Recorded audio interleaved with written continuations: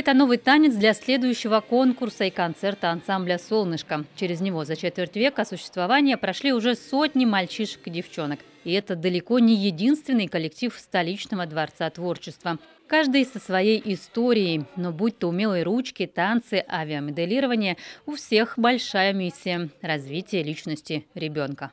Программа называется «Самая основная. Навстречу творчеству». У меня цель – развитие в ребенке творчества, э, личность, индивидуальные какие-то особенности в ребенке.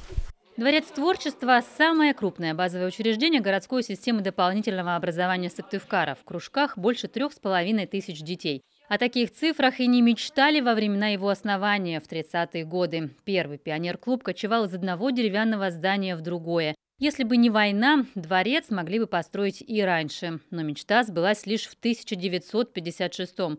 Вот хроники тех лет пионеры Сыктывкара пишут ребятам из дружественного Китая.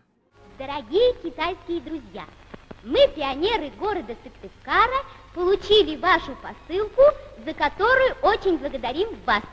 Спешим поделиться с вами нашей радостью. В канун Нового года мы получили замечательный подарок – новый дворец пионеров. В нем очень много интересного.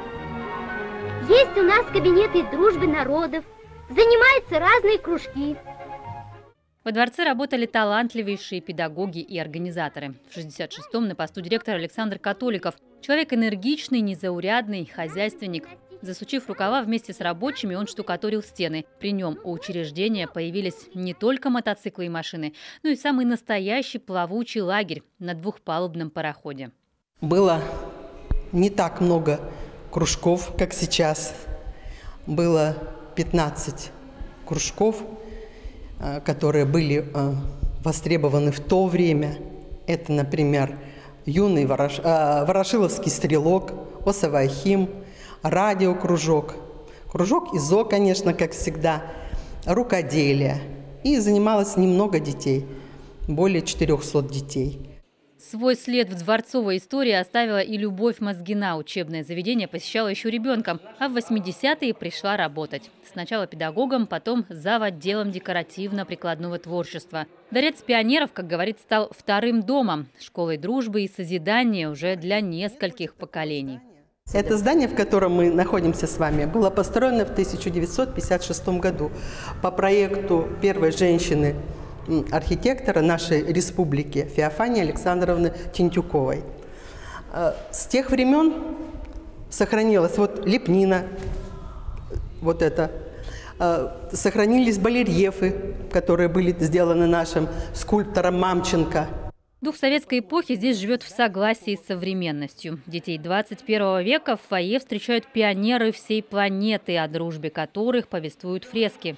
В момент передачи Дворца творчества в эксплуатацию а, они уже существовали. Потом какое-то время они были закрыты счетами, но в 2006 году при ремонте фойе Дворца творчества и самого Дворца творчества они вновь были открыты и восстановлены. Помогали в этом студенты а, колледжа искусств Республики Коми. Над арочными окнами в центре фасада барельефы Владислава Мамченко оживляют сцены из жизни пионеров. Они перед входом всегда на посту. Как символу советского времени в 90-х скульптурам грозил снос. Но тогдашний директор пионеров отстоял. Без них Сыктывкар уже не представляется. Тем более, что прототипами были реальные дети. Он выполнен э, в стиле советского классицизма. Э, у нас зданий таких не очень много в городе. Э, своим внешним видом он поддерживает застройку улицы Орджоникидзе. Вот, является Э, неотъемлемой частью исторической части города, который и, в принципе, создает э, образ исторической части города Сыктывкара. Памятник архитектуры в целом в удовлетворительном состоянии. Собственник исправно несет охранные обязательства. К столетию региона исторические постройки отремонтируют. Список пока на стадии формирования, но дворец в нем уже точно есть. Ольга Коняева, телеканал «Юрган».